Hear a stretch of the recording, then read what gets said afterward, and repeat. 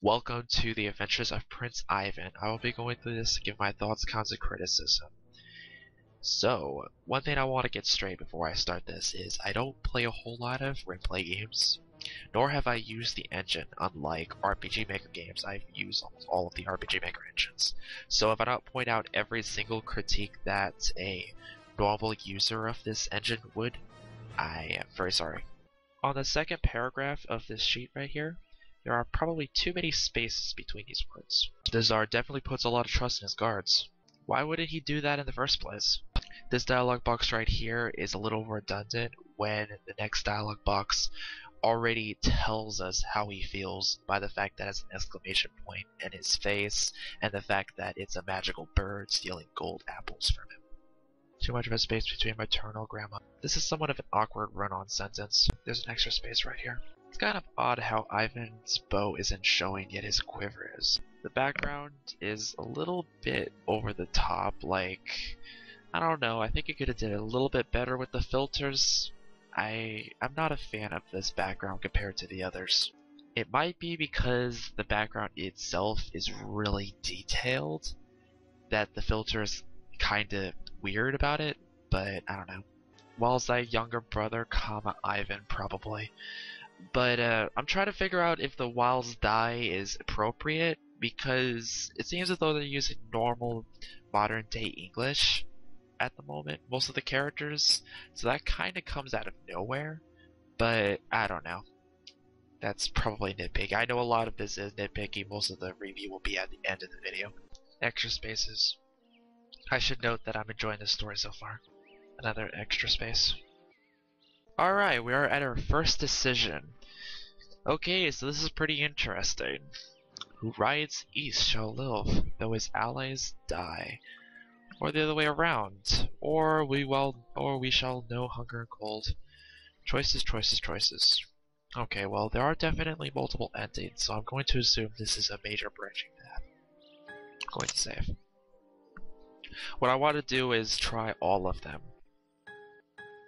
unless I somehow someway get bored of the story, which might happen, but right now I'm enjoying it, so who knows. Okay, so I'm gonna choose this because I'm curious. I don't want any of the characters to die. Right now I actually enjoy the character development and the chemistry between these two characters, so I want to see how it continues. I'm actually kind of surprised you would give me a choice to kill off one of the characters, if that's actually if that would actually happen, of course kind of interesting. I mean, it is quite early into the story. I'm actually kind of disappointed that we didn't get to see the interior of the egg hut. And if you don't know what I was talking about, it's this. Well, this is interesting. Okay, which one should I choose? I know this is stupid, but... Eh. I guess I'll choose it for the sake of curiosity. Would you really say that? When trying to kill a man, that doesn't really make a whole lot of sense. Like, uh, I, I wouldn't say that when I'm attempting murder.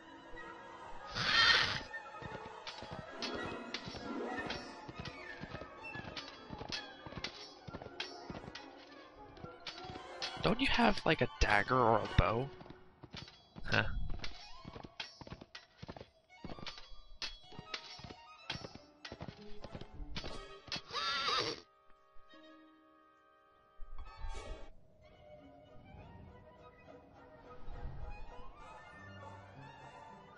That could be a lot worse.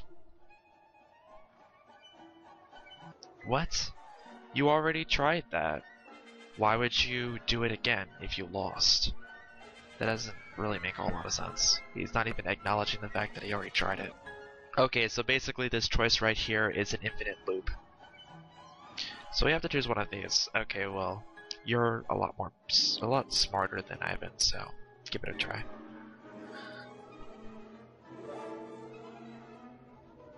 Stop being a bitch. Really?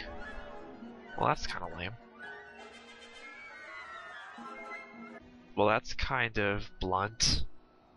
I'm glad you brought that up because I'm starting to question our main character a little bit. I just noticed Great Grey Wolf. The F in wolf is cut off a bit. Star doesn't really look that threatening.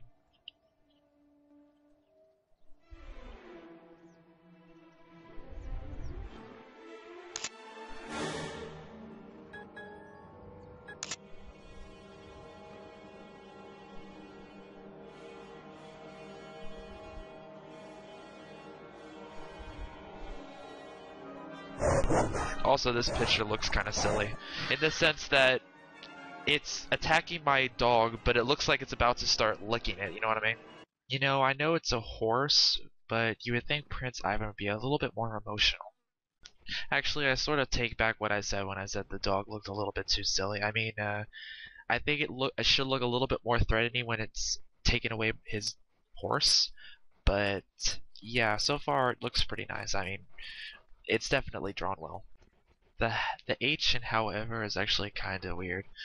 Uh, I mean, I actually really like the fonts, but the H's are kind of awkward. It looks like a stuttering L slash I, but whatever, it's not a huge issue, of course. And we have more choices. Well, this looks fun.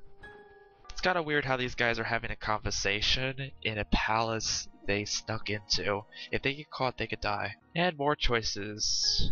I know this is going to bring misfortune because the wolf told me in one of the last conversations, but I I don't know.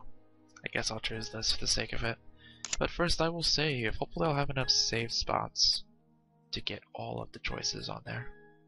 We'll see. Okay, so that is one ending out of the way. Basically, well I'm not going to spoil the entire ending, but yeah, you already know the choices I made for it if you are watching the video for that reason.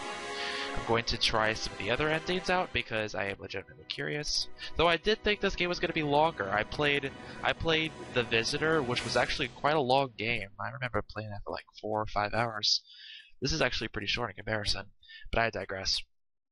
Let's go look at the other endings. Probably going to be a lot longer since I still have three more to go and a lot of choices. Okay, time to choose Take the Cage.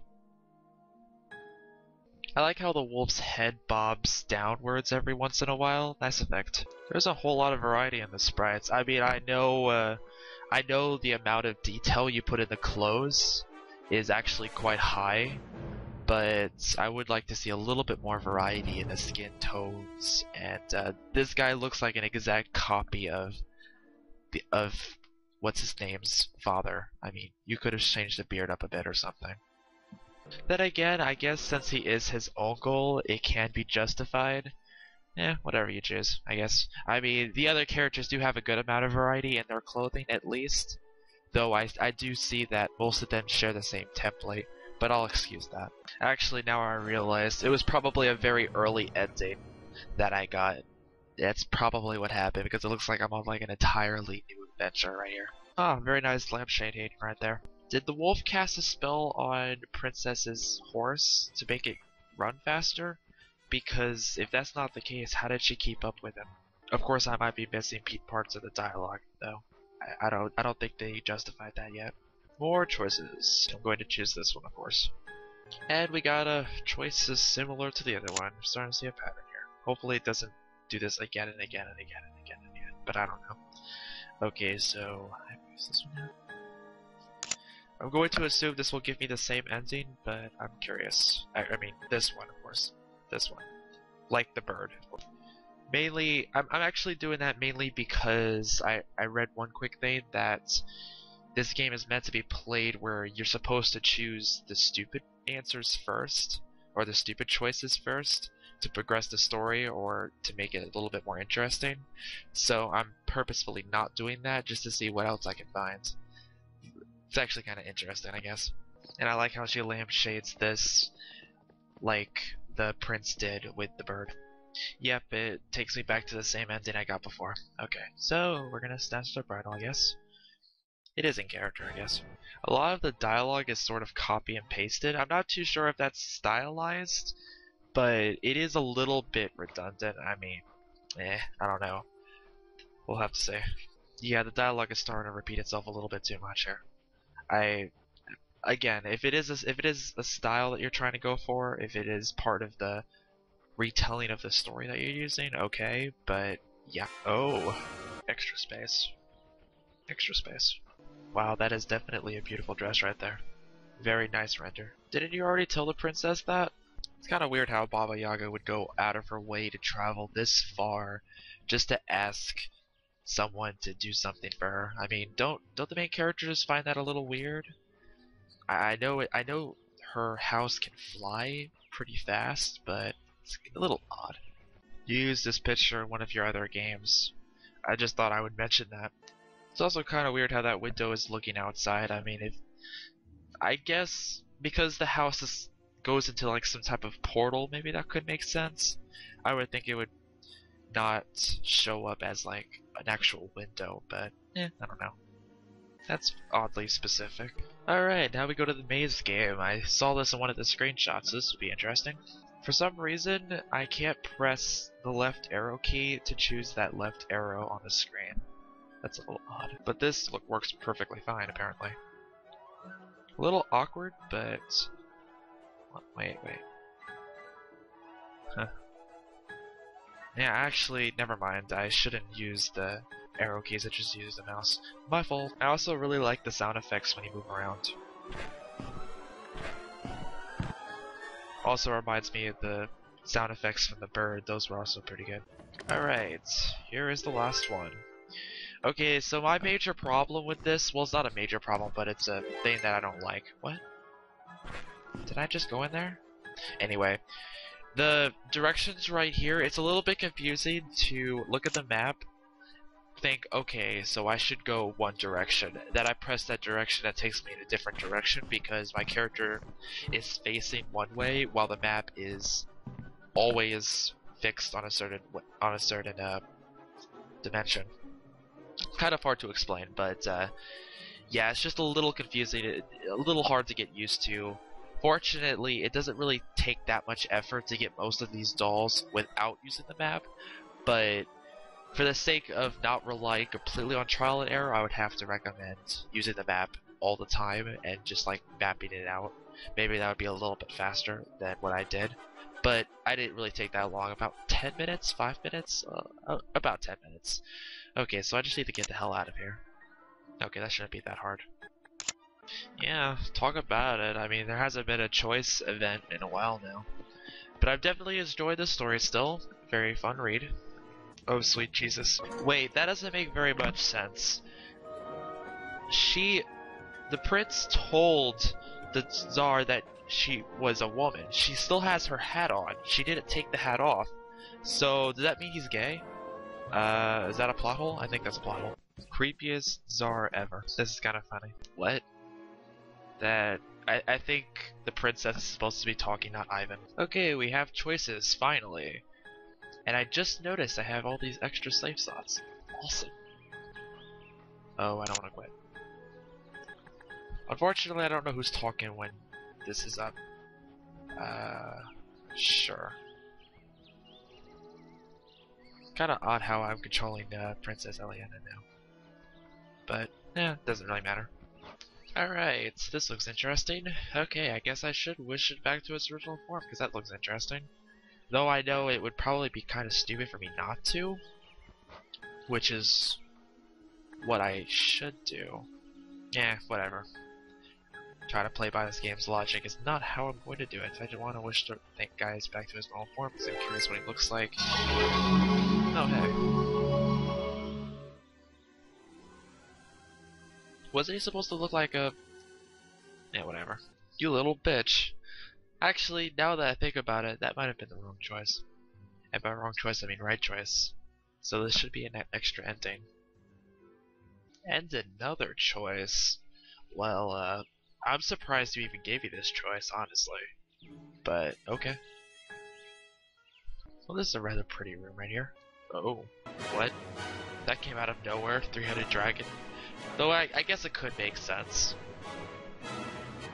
Lol. Alright, two more endings to go. Okay, let's see what happens when we refuse the call.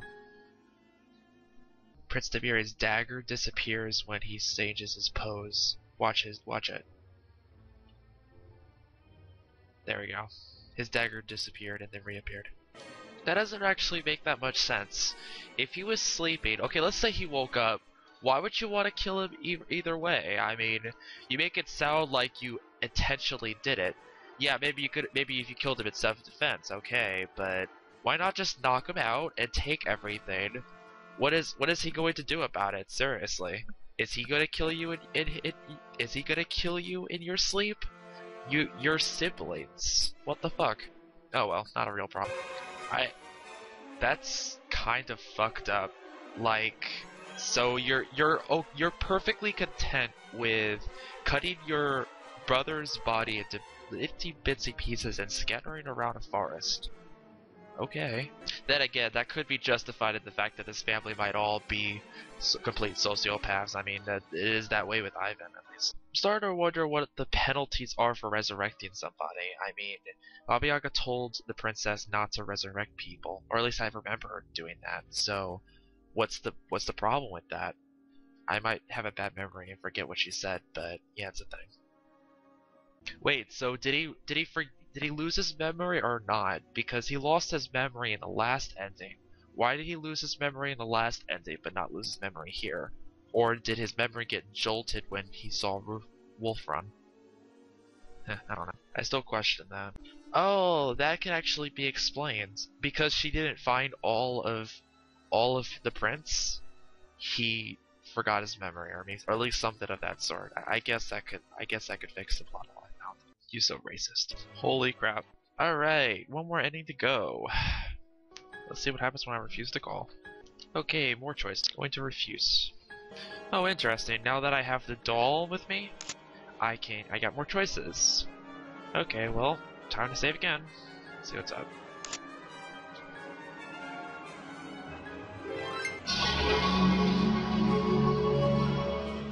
Whoa, is that your sleeping clothes, or do you get resurrected with certain outfits? That's kind of odd. I still like it though, even though it's a little over the top and gaudy. Plot twist. Holy shit. Now that I think about it, maybe the fact that you don't want to resurrect somebody because resurrecting somebody is changing their memory or something like that. And Baba Yaga can avoid that by casting other spells. Okay, that kind of makes sense. I'll I hunt down typo. Alright, this was a pretty crappy ending for the main character. Uh, got screwed over. But he does get to rule, so he really isn't that bad. Yeah, more or less. Is that? Is that the last ending? Yep, it is. So what are the all the other choices? I guess they're just extra bra branches for some dialogue. I'm gonna check those out no matter what, though.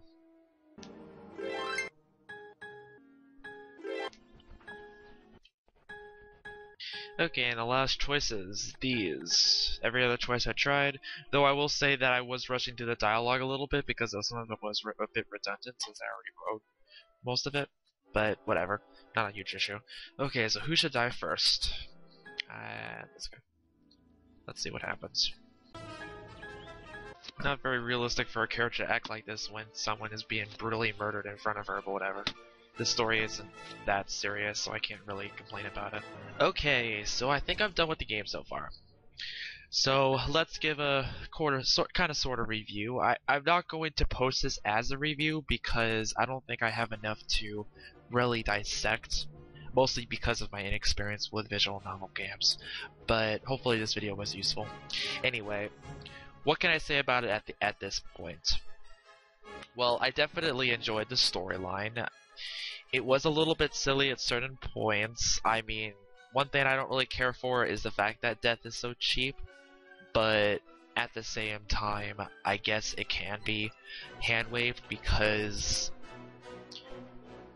because it it moves the story along at a nice pace and uh, definitely doesn't slow down as much. There's not that much filler in the in the reading. So, uh, from what I've seen, I, I wasn't really that bored while reading anything. I mean, uh, when I was looking at all the different decisions, trying to figure out if I could find anything new about it, I kind of got bored and I started going through the dialogue really fast. But that was because a lot of it was unnecessary. I was complete. I was going through the story at a at the intended pace, I guess. But yes, I I definitely like this game to a certain extent. The choice is pretty good, and uh, it was definitely a fun a fun experience. I played about four five hours of it. Definitely took a lot longer to record everything properly, but uh, that's not a problem. So let me think about this for a little bit more, and then I'll probably complete this episode. Okay, and uh, obviously I should mention that the art is uh, amazing. I know, uh, I know one thing that kind of bugs me is I, I really can't tell what you created yourself. I mean, I know there are certain things like the wolf. I know, I know you, I, you probably drew the wolf entirely by hand. You didn't use any stock photos or anything. But I'm trying to figure out like, what is stock? What is, uh, what did you use and edit? Like, trying to figure out the inner workings of how you made everything is kind of interesting. I mean, some of it was a little bit weird, like like to the point where I, I feel as though you just put a filter through it and that's it. I think you could have did a little bit better in some of them. I'm mostly talking about the background locations, not really the characters. The characters were all alright. I mean, I, I I like variety in my skin toads, but this is all taking place in Russia, so I can't really that much. There are a lot of clones, though. I mean, you use a template. You use a single template for a lot of the characters and that was quite noticeable. But that's not a huge issue. The fact that the game the game is still very pretty to look at, and I really enjoy that. Anyway, I don't know if I can really rate this, so I probably won't because it's not in my expertise. But I definitely like this game, and uh, I, I, hope more people start playing this type of game. I know it's kind of a since this community is mostly centered around RPG Maker games, and I, I don't I'm not too sure how much the creator contributes to this site, so I I can't really be cer certain about how that affects uh, her popularity, but uh, I I definitely like how this game is, and I hope it does get a few more downloads than it already has, a few more subscribers. I know there is another game that I didn't play that's uploaded on this site. I'll try to look into it, but I can't make any promises if I'll actually review it slash CC's feedback it but we'll see. I'll keep it in mind at least. Anyway, I hope everyone enjoyed themselves. I hope the creator uh, had some fun listening to me ramble about her game. And uh, yeah, first video on this site. Hopefully we can. Hopefully I can make a whole lot more in the future and uh, continue to help people to a certain extent. Or by help I mean uh, get in the way. I don't even know. Anyways, I'm going to end the video before I ramble myself into a hole like I normally do. Goodbye, good luck, have a nice day.